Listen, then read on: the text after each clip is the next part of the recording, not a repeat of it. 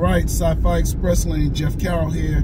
Uh, been having some real interesting conversations since I posted, you know, my uh, video with the two, not really the video, the two uh, programs that I went to, uh, one in Miami, the IGN Film Festival, um, and the one um, event that I went to up in uh, Wellington, Florida, near West Palm Beach.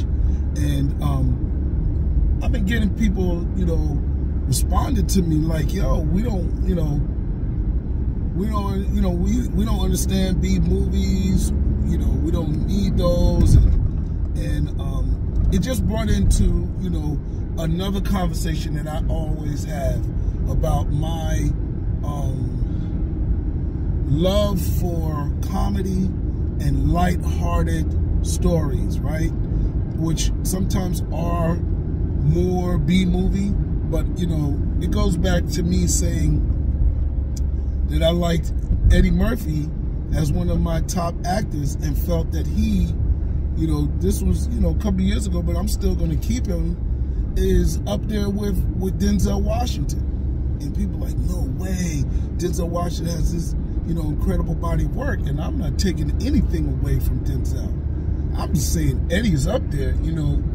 Um, now, I guess you could probably say he fell off. He just ain't been making movies in years. Um, comedies kind of have fallen off. You know what I'm saying? As much as Kevin Hart is pumping stuff out, um, it's really, it's not, it doesn't feel for me like it felt when Eddie was doing 48 hours, not 48 hours, but 48 hours started it. But we had a lot more, you know, of course, the Nutty Professors, of course, Life, Harlem Nights. We haven't had, you know, many movies like that since, you know, and I love Rush Hour. That kept it going, you know, but, um, and I'm, uh, this is no particular order. I'm just thinking, you know, out of my head, but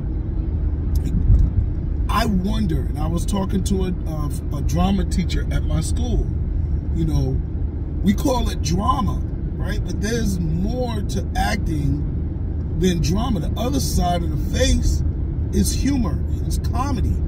And for me, I personally believe, one, we need more comedy. Number two, or lightheartedness, which can be B movies, right?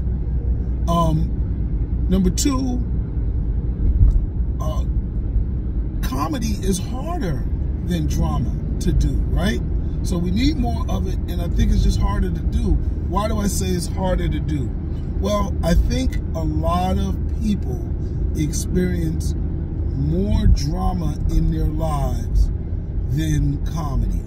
I think drama is more impactful. You never see somebody say they got traumatized from laughing too hard, traumatized from having such a beautiful experience.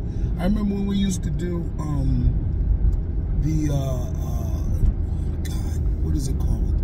Um, youth retreats in college. We used to do retreats for leadership, leadership retreats, right? And one of the um, questions we always did at a leadership retreat was, you know, um, special item, right?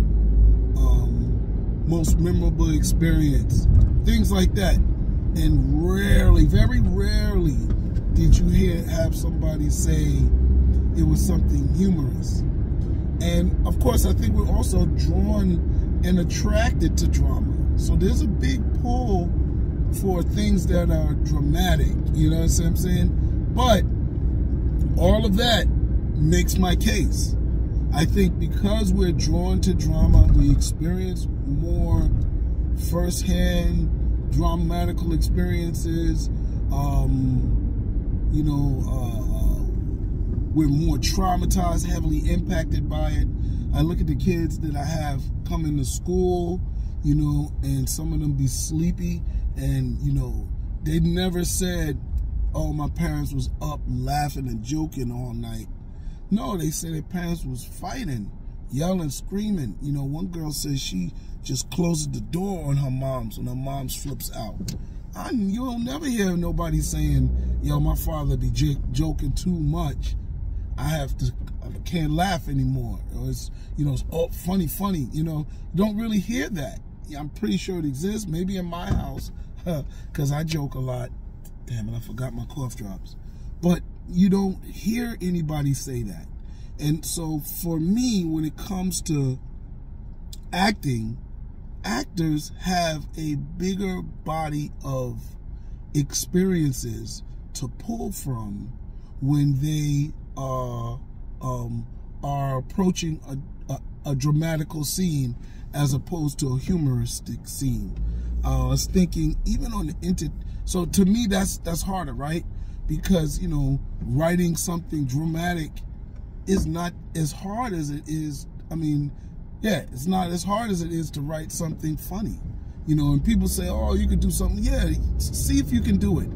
See if you can do something funny. You know, see if you can really make somebody laugh. Try doing that. It's not that easy, right? Some some people make it look easy. You know, I love when I get in a role, I can do it real good. But you know, it's hard when you don't make somebody laugh and you was trying. You know, um, drama is really, you know, I, I I remember, you know, I have a friend that tells stories, and the way he tells stories or she tells stories just gets boring sometimes. It's not that the drama isn't there. The drama's there, but they're not. It's not punchy, right? Um, so that's how you do when you tell a bad dramatical story or you get into something. But funny stories, clear. You're not laughing, it ain't funny, and it ain't good. Um, but then you take uh, the month of October, right? 2022. We had the movies Black Adam come out with the the actor The Rock, who's very humorous, and then we had um, Till come out. Very dramatic story. I doubt there's anything in the in the movie that you should laugh at. Story of Emmett Till and his mother fighting for awareness and justice in her son's uh, murder, right?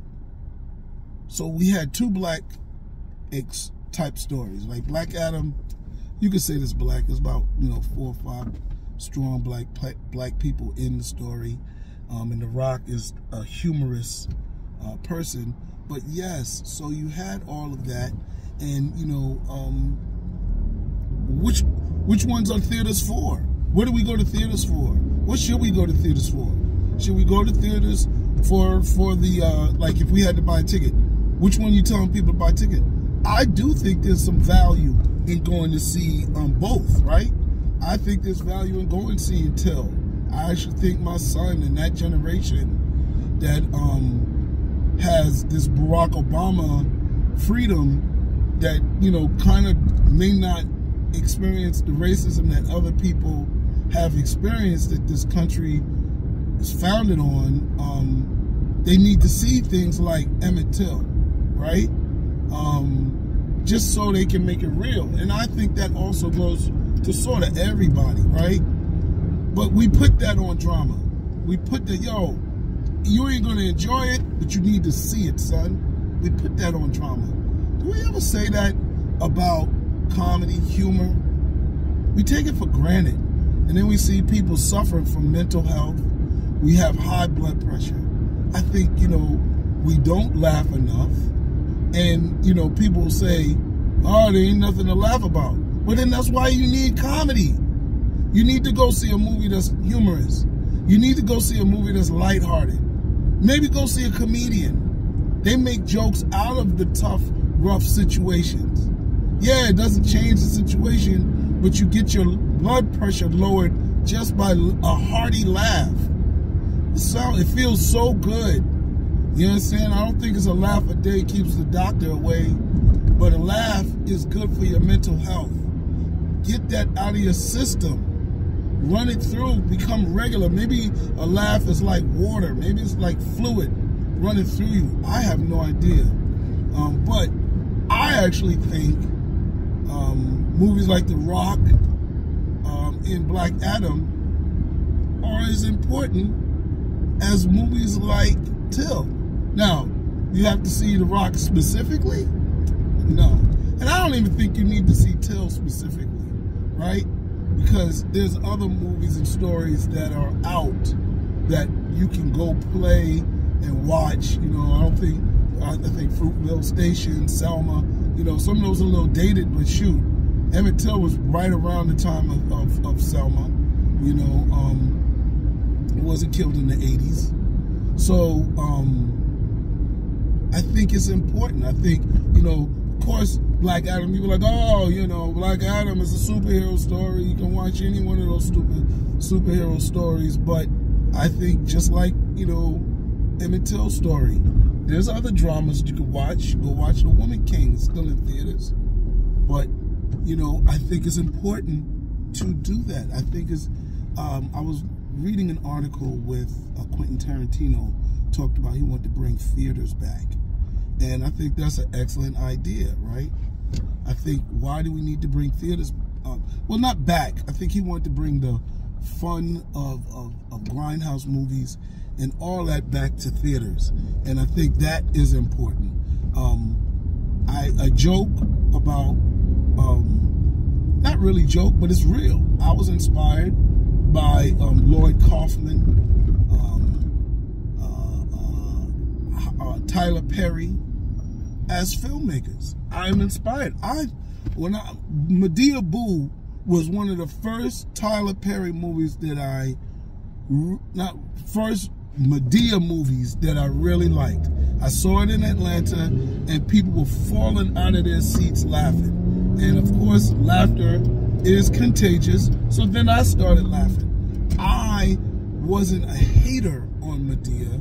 It's just that I was introduced to Madea when he, when Tyler Perry used to come to the um, um, theater uh, City College. I can't remember the name of it, but um, he used to come up there and do his plays. He used to come to New York with the Madea plays, and that's how I was introduced. And there was a lot of theater, not necessarily of men dressing like women, but there was a lot of light-hearted plays, fun plays. Every play wasn't the piano lesson or overly serious, right? Um, or tragic, right? So there was a lot of different plays, and Tyler Perry was one of those things, and almost a breath of fresh air to see something humorous, right? Um, but I didn't really, con you know, connect, or it just didn't get the energy, right? It was something to the the theater giving that energy, you know, um, with the laughter that made me fully enjoy it. And I am a grindhouse dude. I love movies that exploit the theatrical experience from causing people to react to the um, react to the things on the screen, to um, surprises. I like the cheesiness sometimes of it. You know, um, I like all of that, right? And I like movies that do that. Um, I don't think everything needs to be Avatar perfect. I think sometimes, you know, you can have that. Now, do you mix it? No. You don't try to cheese up an Avatar. But for movies that are, you know, slip up a little bit, yo, it's perfectly fine. Movies that have, you know, some uh, deadpan acting, it, it, it, it, it works for me, right? It works for me. And so I liked Tyler Perry having that. I like Lloyd Kaufman, you know, just his boldness and doing different things with his stories that, you know, people might not even try. He tries in his films. And I think that is important. So yeah, I like I like these movies. Um and that's really it. Uh I, I know I'm talking about comedy and I'm talking about drama, but yeah, there's a lot to to both of those things. Probably can't be finished in this comment, but again, like I said, like, share, subscribe, and comment. You know. All right, Sci-Fi Express Lane, Jeff Carroll's out.